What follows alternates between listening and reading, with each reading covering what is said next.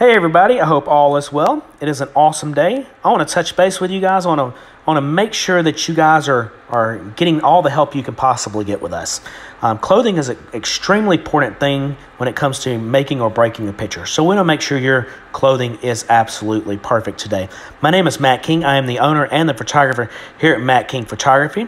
And what I want to do is just simply uh, walk you through this website of how to dress and uh, our clothing guide here and make sure that it is perfect.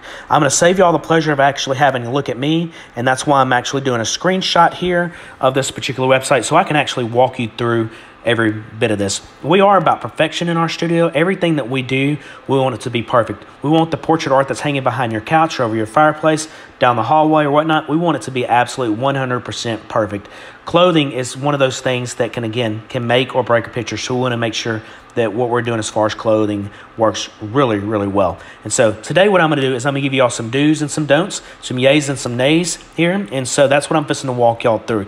So if you're on this page with me, y'all can y'all can follow along if you need to. But if you guys scroll down, you guys are going to look right here where we see all these X's and stuff like that. That is, those are no's. We're going to avoid certain things. These things are just uh, the safest bet on, on what to do. We can deviate outside of some of these J's and some nays, but this is the safest way to go. And so, a couple things you want to keep in mind avoid pattern. You're going to avoid polka dots and stripes and pinstripes and stuff like that.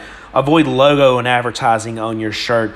Don't put Big Bird on your kid's shirt, for example. Don't put Barney on your kid's shirt, anything like that. Pictures of a character shirts, those are bad.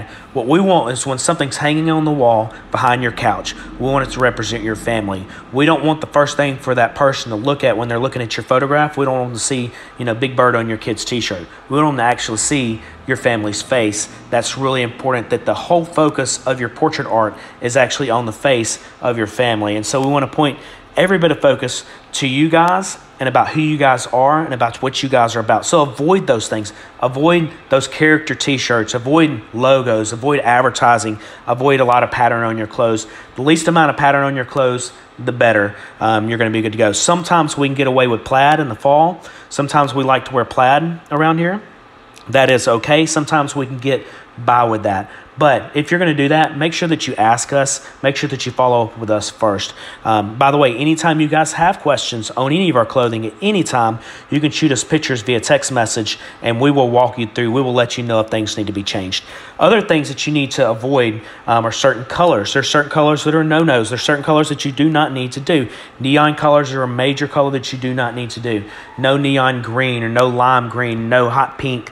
Um, as much as your husband wants to wear hot pink, he cannot wear hot pink that day. So anything that's really bright like that, anything that's a highlighter color is bad. So anything that's that's that's you know highlighter green or, or highlighter yellow, that type of stuff is a is a bad color. Anything that would glow under a black light is bad. Um, orange, yellow. We can get by with some of those colors sometimes if it's fall. For example, a burnt yellow or a burnt orange would be okay but a bright yellow or bright orange would be bad. Um, that's not something that you want to do. Also, some other colors that are that are no-nos that you don't want to do would be all white, for example.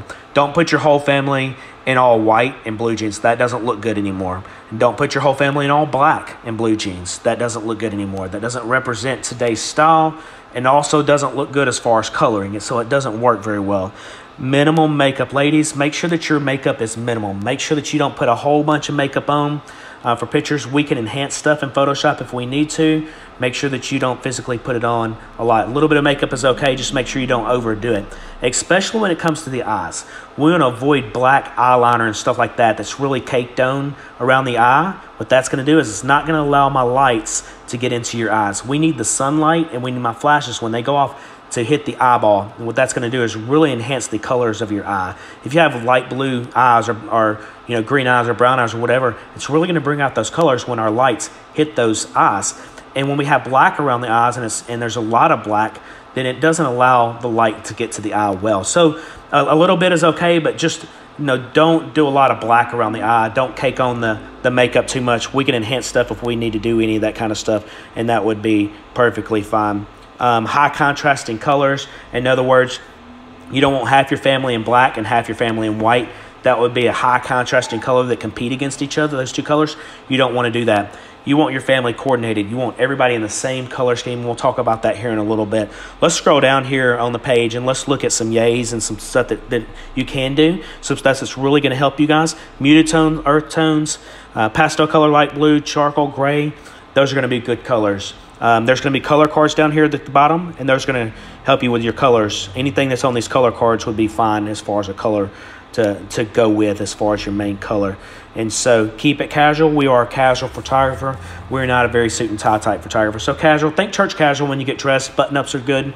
Um, you know, roll the sleeves up on the guys. Make sure you guys look good. Layers, layering for you laters is a really good thing. Light jackets, necklaces, bracelets.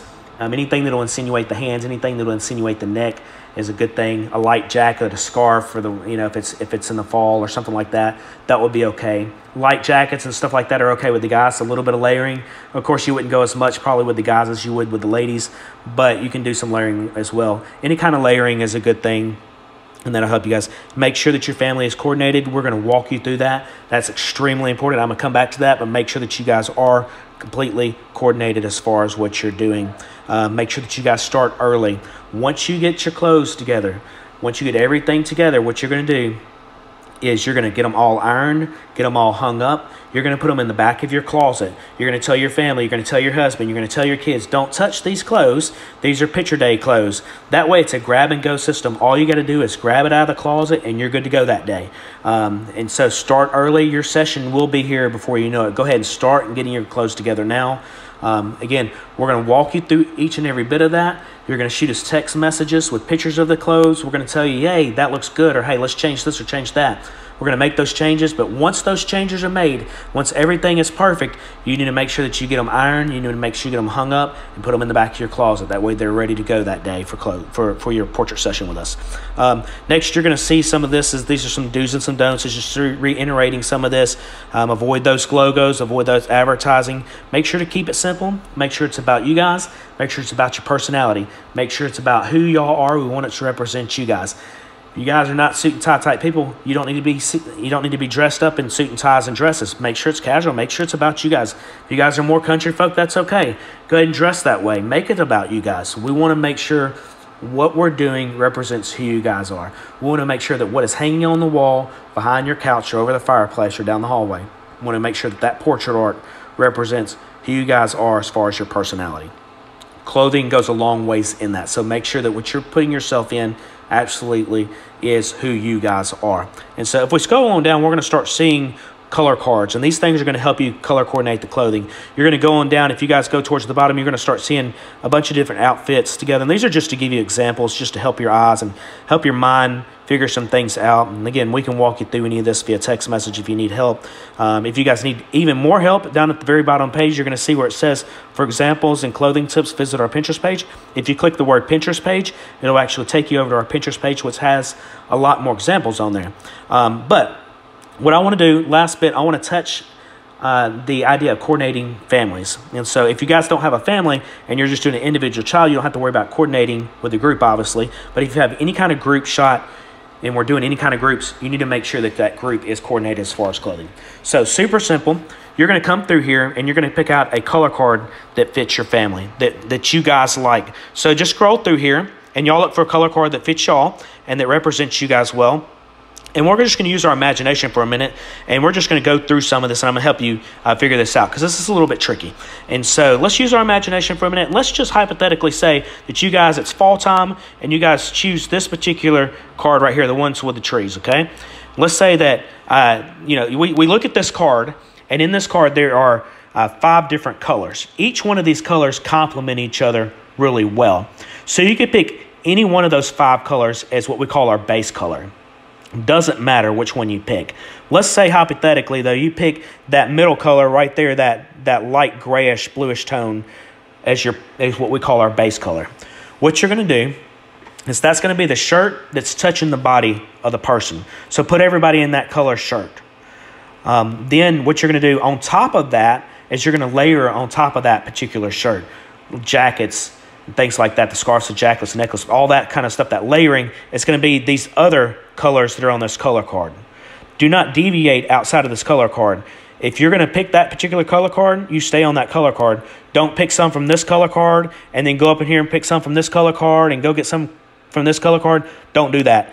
Pick it all from the same color card. So if you want this color card, use those colors on that color card. You can pick whatever color card that you want. If you're more of a blue, you can come up here and do this. Again, let's do it with uh, let's do it with this one right here. Let's say this is your favorite color card, and in this color card we have what do we have four or five different colors here. And let's say you guys pick this light color brown right here as your primary color, as your base color. You're going to pick that as your shirt that, that goes on the body, the, the shirt that is physically touching the body. That's going to be that color of everybody in your group. And then the other colors on top of that card are going to be the, the layering and the stuff that helps bring out the personality of each individual person in that group. And so that's where you're getting the personality from each individual person. It's the other colors that are on the layers or the scarves, necklaces, bracelets, all that stuff that's layering on top of that base color that's where it's going to help bring out the personality of the individual person in that group. But as far as the group and bringing that whole group together, we want your base color all to be the same. So if you're going to pick this color right here as your base color, you need to make sure that the that that is the base shirt that's sitting on the body. Um, blue jeans or khakis, either one. Don't go both at the same time. Pick either or. If you're more of a blue jean person, go blue jeans. If you're more of a khaki person, go khakis. Um, put blue jeans on, for example, if that's who you guys are. And then moms, all you got to do is worry about the top half of that part. If you guys got blue jeans on everybody, let everybody pick out your favorite pair of blue jeans. Um, even if those are the ripped blue jeans that your teenager wears, that us older people don't understand why you're buying blue jeans with rips in them. You know, that's the personality and that's their style. That's okay. That'll look good in pictures. Um, let everybody pick out their favorite pair of blue jeans. Even if the blue jeans are a slight bit different color, as long as they're all blue and you don't have white jeans and blue jeans, that's different. But as long as they're all blue, you're going to be perfectly fine. So let everybody pick out their favorite pair of blue jeans. You got half your work done right there, and then all you got to do is come back and you got to worry about the top halves of the clothing. And at that point, you can go back to this clothing, what we were just talking about on this coordinating, and just coordinate your clothes and stuff like that. You're going to be good to go. I'm here to walk you through each and every step of the way, especially when it comes to clothing. So if you have any help, if you need any help, if you have any questions on what uh, on, on how to dress or, or what looks good and what doesn't look good, shoot me pictures via text message. We want to help you. I'm here to serve you. I want to serve you guys really well, and we do that by answering your questions. So don't be afraid to ask me questions. That is my job to take really good care of you guys. Um, again, we want things perfect. We don't do anything less than perfect in my studio.